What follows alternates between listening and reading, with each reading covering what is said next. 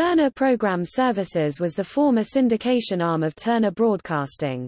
It served the same purpose as Turner Entertainment's distribution unit, with the exception that TPS was more involved in distributing television series rather than films.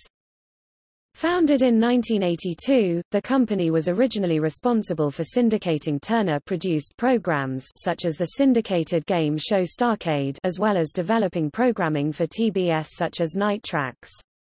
TPS expanded its distribution into other networks series in the 1990s, syndicating series such as The Wonder Years which is now owned by 20th Television since 2011. When Turner bought the rights to the Hanna-Barbera library of cartoons, TPS became their distributor to local stations. One of the more notable series TPS was responsible for developing was Captain Planet and the Planeteers, which was a co-production with DIC Entertainment and centered on a character created by Turner Broadcasting founder Ted Turner.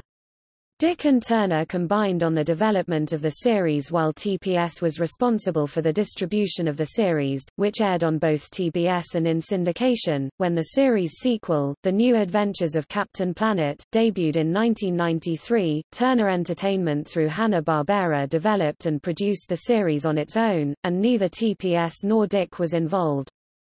Also, earlier in 1986, TPS, with the help of veteran anime translator Fred Ladd, produced a second English translation of the 1970s anime science ninja team Gatchaman called G-Force, Guardians of Space, which would subsequently air on TBS 1986 and Cartoon Network 1995 to 1997.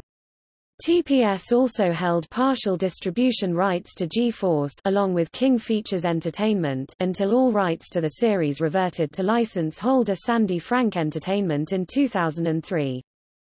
Upon Time Warner's purchase of Turner in 1996, TPS was merged into Telepictures Productions and the combined entity became known as Telepictures Distribution, which is now part of Warner Brothers. Television distribution Telepictures still exists as a production company.